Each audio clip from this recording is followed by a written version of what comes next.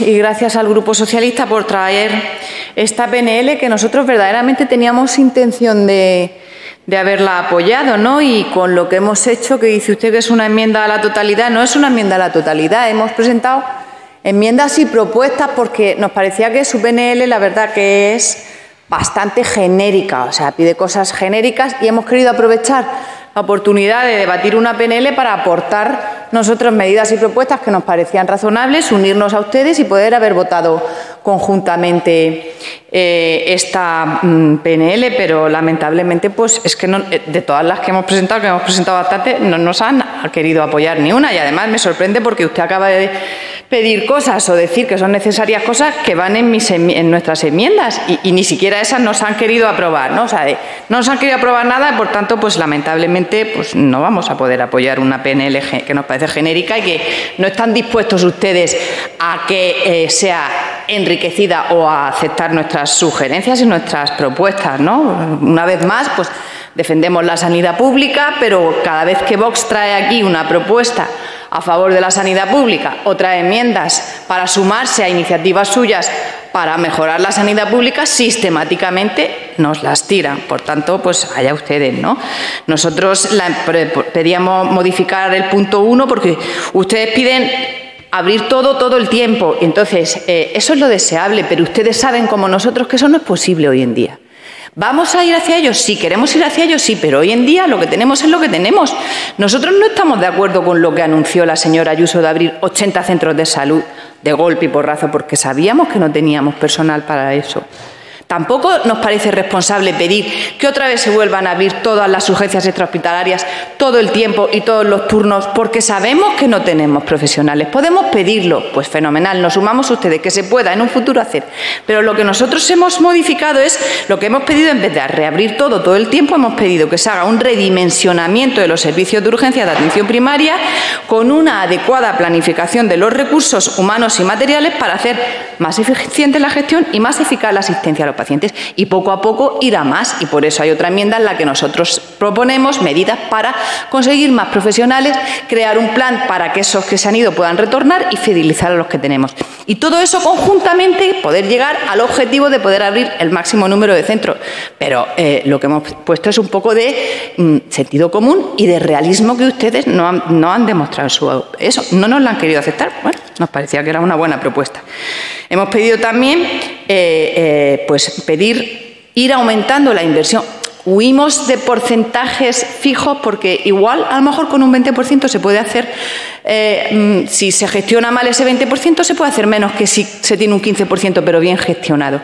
Nosotros lo que pedimos es que se gestione eficientemente eh, la inversión y que progresivamente se vaya aumentando. Y pedimos, aquí pedíamos también en una enmienda que tampoco nos han querido aceptar, que se excluya el gasto en recetas de esa inversión en atención primaria y de los programas y de las partidas presupuestarias de atención primaria. Tampoco les ha parecido bien. Hemos pedido, eh, ustedes dicen en el punto 5, contratar más personal, contratar más personal para los centros de salud y los centros de urgencias extrahospitalarias. Nosotros le hemos querido concretar un poquito más esa petición y hemos pedido realizar una adecuada evaluación y planificación de los recursos en todas las categorías y establecer un plan para retener a profesionales que actualmente trabajan en la comunidad y para favorecer el retorno de aquellos que se han ido por falta de atractivo en las condiciones laborales. ¿No han querido ustedes que esto figure, estas enmiendas de voz y esta propuesta figure en su PNL para enriquecerla, para concretarla, para eh, eh, mejorarla? Bien, pues eh, allá ustedes, no sé por qué lo habrán hecho. Luego en el punto 6, que pedimos reforzar la atención primaria y las urgencias hospitalarias, y ahí es donde aterrizamos en medidas que nos parecen más concretas. Uno, proceder a la desburocratización de las consultas de atención primaria, no nos la quieren aceptar una enmienda donde pide un tiempo mínimo de 10 minutos en, familia y 15 para pediatría, que usted mismo aquí lo acaba de pedir, pues tampoco nos lo ha querido aceptar. Mantener los doblajes voluntarios, instaurar turnos que favorezcan la conciliación. Nada de esto, señores del PSOE, han querido ustedes aceptar del grupo Vox. ¿Querrán defender la sanidad pública? Sí. Cuando se trata de propuestas de otros grupos que no son ustedes, pues no las quieren. Hemos introducido una enmienda eh, concreta para mejorar la pediatría en la atención primaria, un problema que todos sabemos que existe.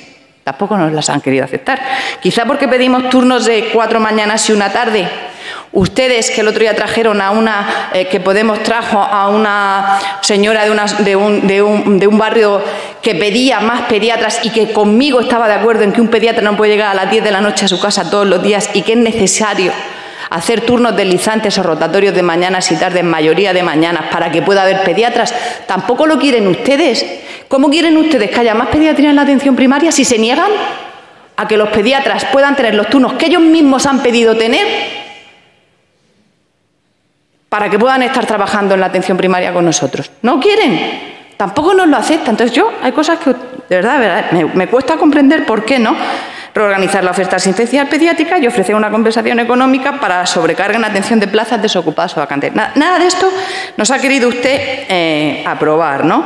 Mejora de la presión asistencial en un tema que nos parece fundamental y desde que poco se habla, que es para atender de los pacientes que acuden sin cita de forma injustificada y hacer un adecuado triaje antes de que esos pacientes puedan a las consultas de, medicina y de pediatría. Saben ustedes que muchos pacientes acuden sin cita a, los centros de salud creyendo que su patología es urgente y puede ser una patología demorable.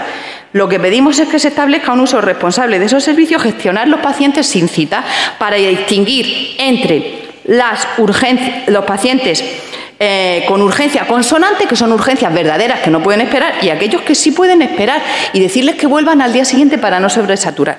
Eso no les parece bien.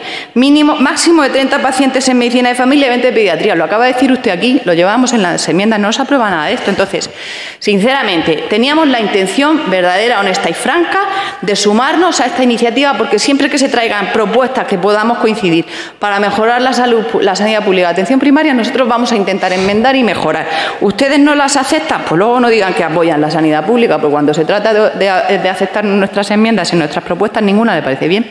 Lo siento mucho. Muchas gracias. Gracias, señora Joya. Bueno, yo muy brevemente al Grupo Socialista. Eh, si es que ustedes hoy mismo, o sea, se han enmendado a sí mismos, eh, han hecho enmiendas de adición a sí mismos que coinciden con las que yo les he presentado. Es que ni siquiera con esas se han sentado a hablar con nosotros. Yo lo único que le pregunto, señora Conejero, si verdaderamente de todo lo que le hemos propuesto nosotros, no había nada, nada, nada, nada interesante que a usted le pudiera parecer que pudiera aportar algo positivo para mejorar la atención primaria en la Comunidad de Madrid. Nada, cero, 0,0. O no podemos haber sentado y haber dicho, bueno, pues está así, pues haberlo hablado verlo debatido. ¿eh? A mí me gusta, me gusta porque creo que ese debate enriquece.